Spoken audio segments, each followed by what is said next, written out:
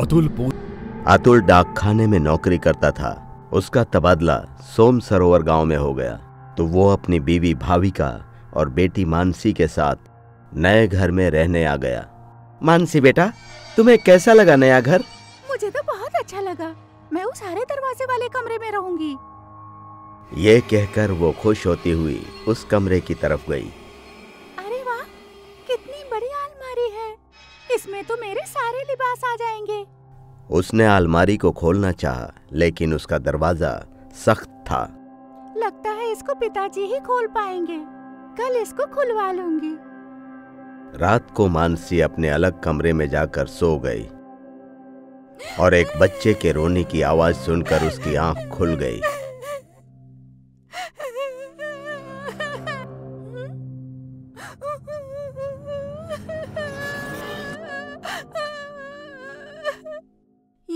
आवाज़ कहाँ से आ रही है? जब दोबारा आवाज़ आई तब उसे पता चला कि वो आवाज़ उसी अलमारी से आ रही है। माँ माँ माँ। मानसी ज़ोर से चीखी और भागते हुए अपनी अम्मा के कमरे में पहुँच गई। उसके वालदान भी उसकी आवाज़ सुनकर जाग चुके थे। अरे बेटा क्या हुआ? मेरे मेरे कमरे में जो अलमारी है उसमें से किसी के रोने की आवाज़ आ रही है।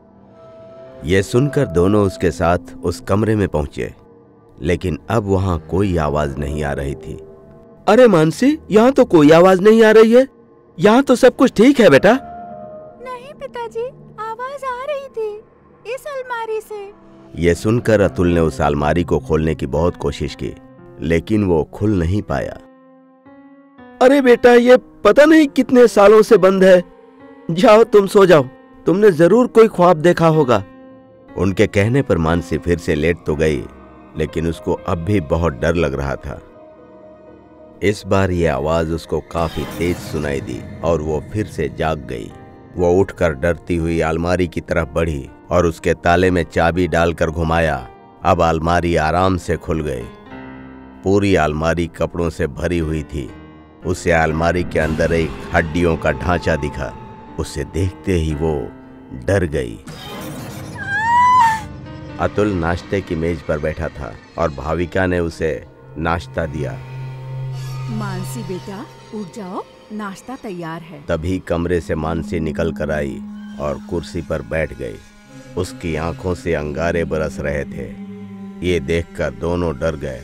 मुझे ये नहीं पसंद। उसने मेज पर रखा सारा नाश्ता नीचे गिरा दिया और भागकर बाहर बगीचे में चली गई। अतुल और भाविका भी उसके पीछे पीछे भागे।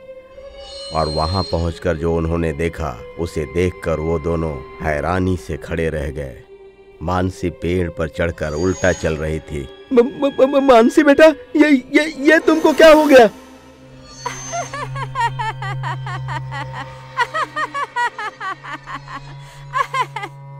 वो हँसते हुए अतुल के ऊपर कूद गई। अतुल ज़मीन पर गिर गया और मानसी बेहोश हो गई। अतुल ने उसे गोद में उठाया। और घर के अंदर ले गया। हम इसे अकेली नहीं छोड़ सकते। तुम इसके पास ही रुको। मैं अभी डॉक्टर को बुलाकर लाता हूँ। अतुल डॉक्टर को लेकर आया और डॉक्टर ने उसे चेक किया। देखिए ये फ़िलहाल तो बेहोश है। मैं इसको इंजेक्शन दे देता हूँ। अगले दो घंटे में ये होश में आ जाएगी। मैं कुछ दवाइयाँ देता हूँ इसको देते रहना। डॉक्टर ने उसे इंजेक्शन दिया और कुछ दवाइयाँ दी और फिर डॉक्टर चला गया।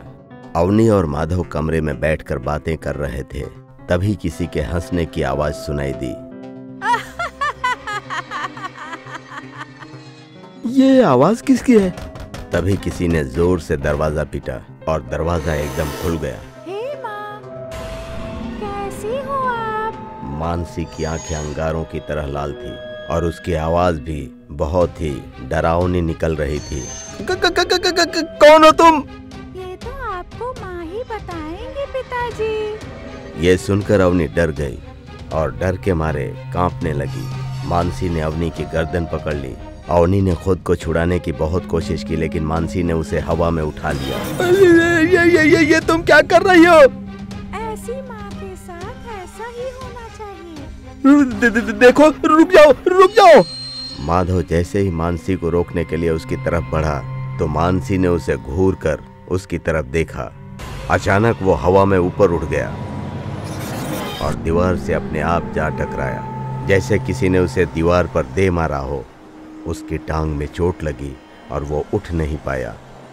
माँ अब आपको इनाम देने का वक्त आ गया।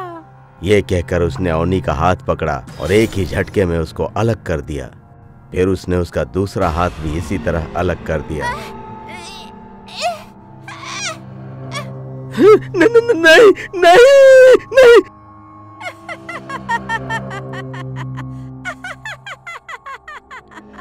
और उसने टेबल पर रखा हुआ लैंप उठाकर अवनी के सर पर ज़ोर से दे मारा।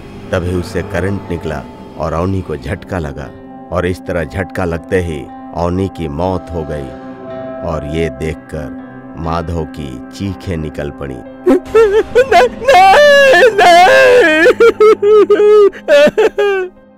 वो फूट फूट कर रोने लगा। उसकी टांग में आई चोट की वजह से वो खड़ा नहीं हो पा रहा था। मानसी उसे देखकर जोरदार हँसी हंस रही थी। फिर मानसी बोली पिताजी मुझे माफ़ कर दो पिताजी। क- क- क- कौन हो तुम? कौन हो? तुमने मेरी बीवी को क्यों मारा? पिताजी मैं आपकी औलाद मोहित हूँ। मोहित बेटा तुम तुम इस लड़की के शरीर में और तुमने तुमने अपनी अम्मा को मार डाला। पिताजी आपने मुझे खोजने की कोशिश क्यों नहीं की? अगर आप मुझे ठीक से खोजते तो मैं बच सकता था।